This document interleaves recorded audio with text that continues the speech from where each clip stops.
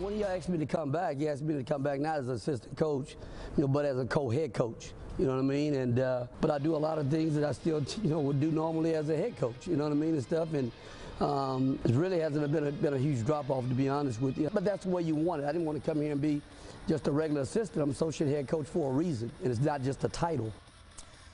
That interview with Rodney Terry from November 6th. Former UTEP head coach Terry talking about why he left for what is kind of a lesser role at Texas as an assistant coach. His reasoning makes sense, but I doubt he ever thought he'd be forced into action quite like this.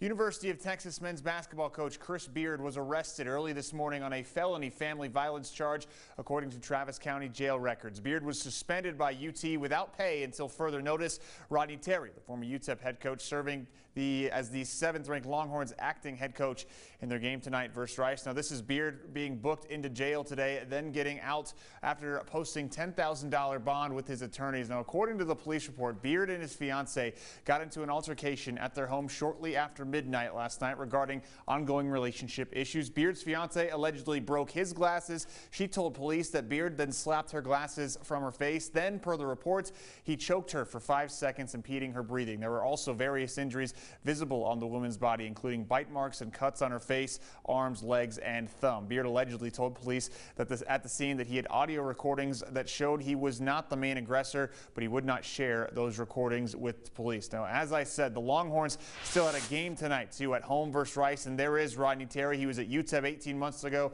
goes to Texas as an assistant, now thrust into being the acting head coach. The Horns clearly shell-shocked. They trailed by nine points at times in the first half. Late in the game, Travis giving giving Rice a three-point lead, but Marcus Carr here, three of his 28 points to tie it up and send it into overtime, tied at 72. In OT, former New Mexico State star Jabari Rice would take over off the dribble right there with the lefty finish at the rim, and then check out Rice here on the up and under finish. This is sweet.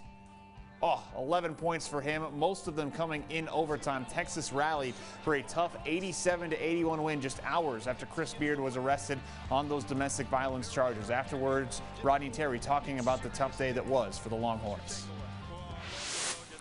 Again, I can't speak on that situation. You know, um, you know, I love I love Beard like a, like my own brother.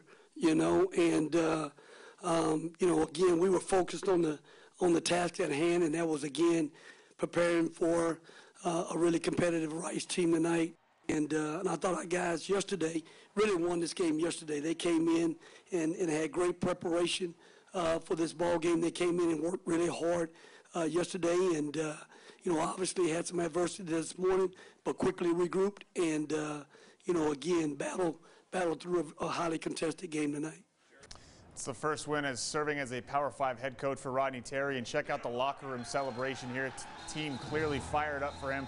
There will be some uncertain times ahead for the Longhorns. Who knows if Chris Beard will ever coach a game there again. For now, it's Rodney Terry who will try to steady the ship. They play host to Stanford on Sunday.